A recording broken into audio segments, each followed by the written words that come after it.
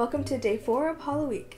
In previous videos, I showed you how to make shrunken heads out of apples, a magic spellbook, and bleeding candles, and today I'm going to be showing you how to make some easy horns. These are obviously just a single component for a costume. It could be part of many different costumes, a demon, the devil, a goat, any horned animal really. For me, I wanted to make them because my older sister recently got me hooked on the graphic novel Saga, and one of the races they have horns, and I don't know, I just wanted to make some. They're pretty easy to make, so let's get started. You'll need some elastic or a headband, hot glue, tape, two long thin pieces of cardboard, a dowel or a cylindrical object that you don't mind getting cut a little, scissors, and paint. Cut two long strips of cardboard. These ones are 2 inches by 10 inches. The width of the cardboard will determine how extreme the curl of your horns will be. Take your dowel, or your cylindrical object, I'm using a marker, roll up the cardboard around it like so. At this outer edge, start cutting through each layer of cardboard, very carefully. And now you'll have a few pieces of cardboard like this. The amount that you have will change depending on how thick your dowel is or how long your cardboard is. Anyway, tape the ends of each piece to make little tubes. Roll the smallest piece into a cone shape. Start sticking the tubes into each other, making them come out at a bit of an angle like so. And then use some hot glue to keep it together. Then, using hot glue again, Make lines spiraling down the horns to add some detail. Alternatively, you could use some air drying clay instead. I just wanted to keep these as light as possible and really, really quick, so hot glue was perfect. I made an alternate pair of horns with strips of cardboard that were 1 inch by 10 inches, and instead of cutting the cardboard while on the marker, I slid them off and readjusted them so that the edge of the cardboard on the inside matched the edge on the outside. And then I cut.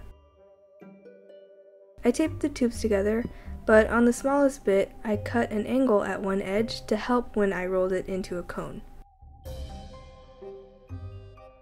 Here you can see how much more these curve. They're also way, way shorter since the individual tubes were only 1 inch wide, and I kept up with the 10 inch long piece of cardboard. Like before, hot glue them and add details. Now paint. I did a dark brown base and then dry brushed some gold and reddish browns over top. This made the details pop.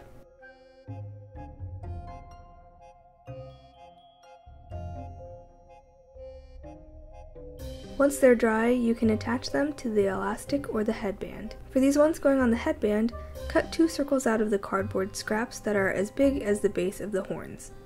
Glue the horns onto the headband by sandwiching the horn and the circle around the headband. It was a little bit wobbly at first, which was concerning to me, but once the glue cooled and hardened, they became much more sturdy. If you want to use elastic, Cut some that is long enough to go around your head with a few inches extra. Cut two holes on either side of the base of these horns, big enough for the elastic to thread through. Thread one of the horns through, and when it's in place, tie a knot on either side to secure it. Slide the other on, and then repeat. Keep in mind that the elastic is going to stretch when you put it on, and that will affect the placement. Before I secured the second horn, I wrapped the elastic around my head like I would when wearing, and then I adjusted the placement, took them off, and then tied the knots to keep that second horn in place. Put the elastic on your head, tighten it to a comfortable but secure tightness, take it off and tie it together. And then you're done. Just put them on and style your hair a little bit to hide the headband or elastic. Since these are made of hollow cardboard, they're super light and really comfortable to wear.